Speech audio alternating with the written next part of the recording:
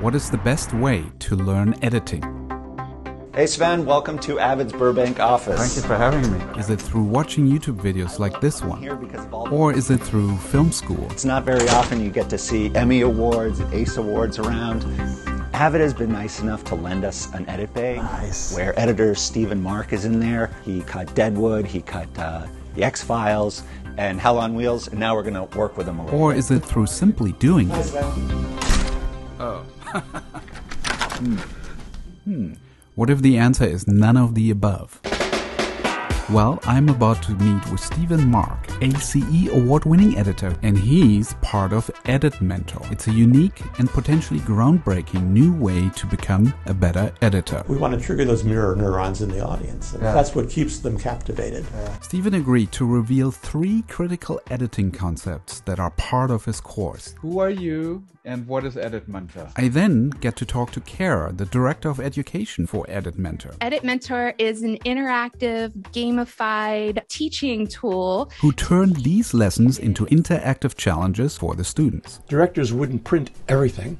They would print the takes that they thought were the most useful. All right, so we're going to start this challenge and we're going to place a marker on every circle take for this scene. And at the end, you'll get to find out for yourself if Edit Mentor is the ultimate tool for you to learn how to edit better.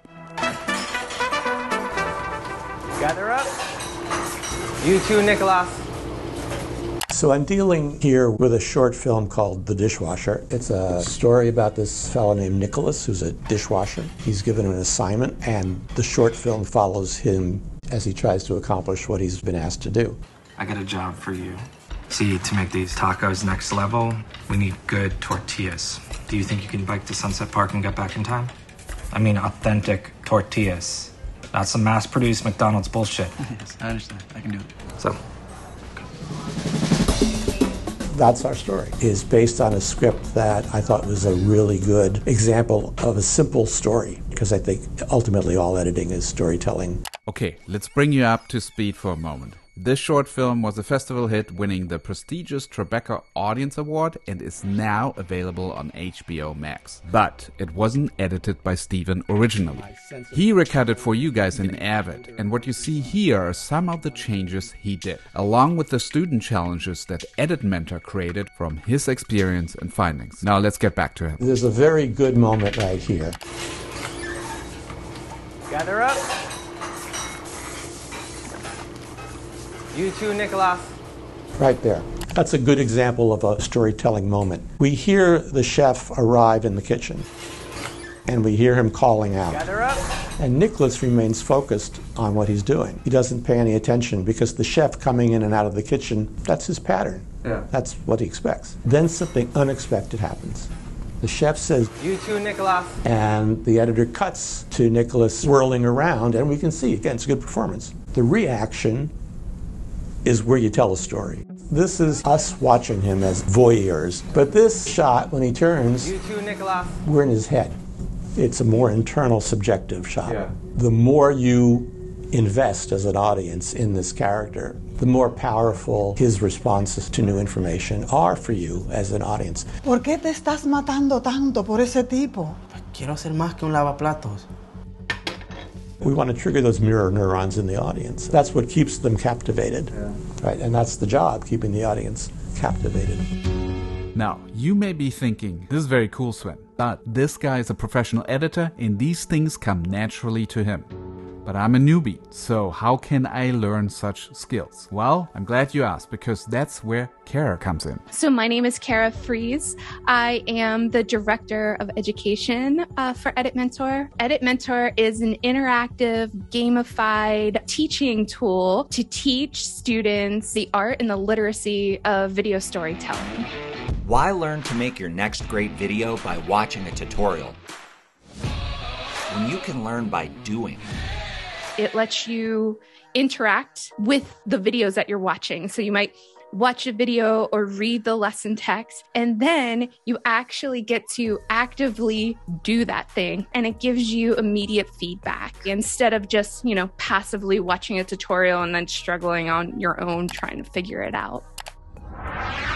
One of the tools that a narrative editor has is the line script.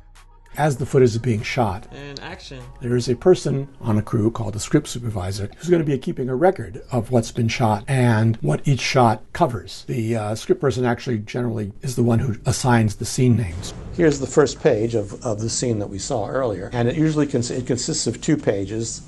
There's the script itself, then there's a facing page which gives you more detail about the shot.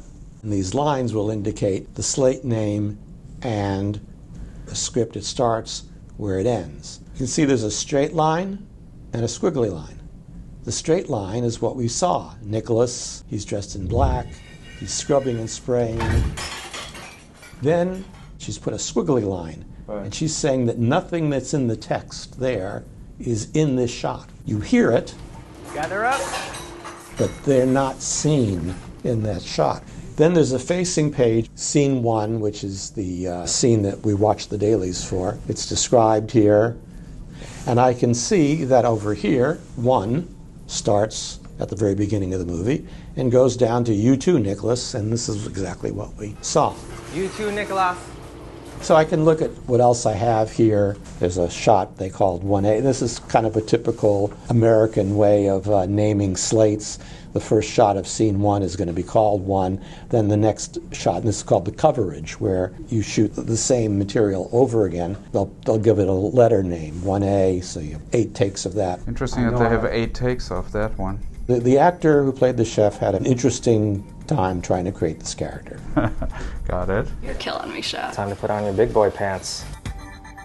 The proof of what, what I have to work with is always going to be the footage.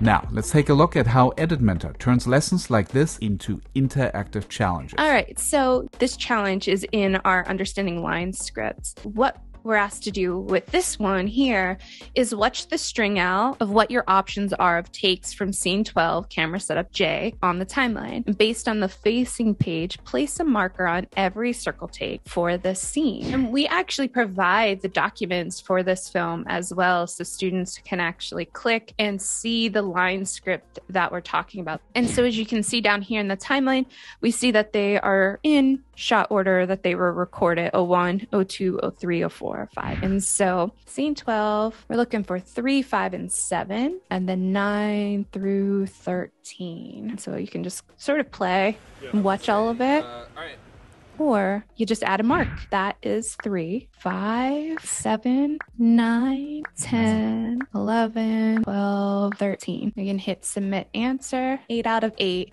Yeah, I really like this whole lesson on the script notes. I, I mean, I learned this at AFI when I went to film school, so it was a great refresher to just like, okay, what are the the, the scribbly lines, and uh, when is Yes. something on camera, when is something off camera.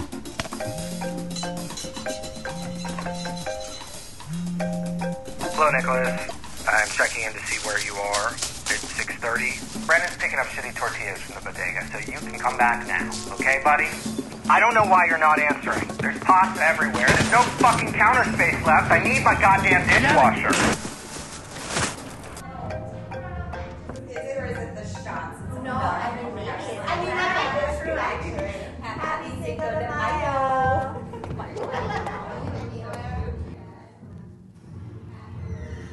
When I watched the film that as it was put together, I had a sense that there was another way to do that scene differently than they did. So here we meet Nicholas having in his moment of defeat. What we're supposed to get from the point of view of the writer is that these are quote unquote white hipsters going to a party. My expectation would be I would have his point of view of these white hipsters wishing him a happy Cinco de Mayo. But we're missing that aspect of the story completely. And there's nothing to do about that, right? Because there is no shot. So then he comes in between these two fellas. This is the first time we've seen faces, and I'm not feeling that any irony thing coming from this particular shot. I'm seeing so little of them, they could very well be Latino.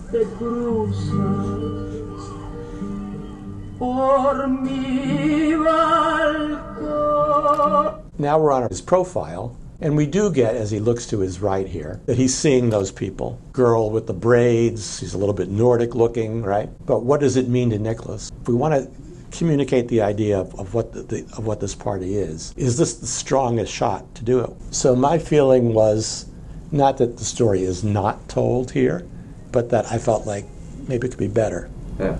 And so with this challenge, what we're asked is to using the ripple delete tool.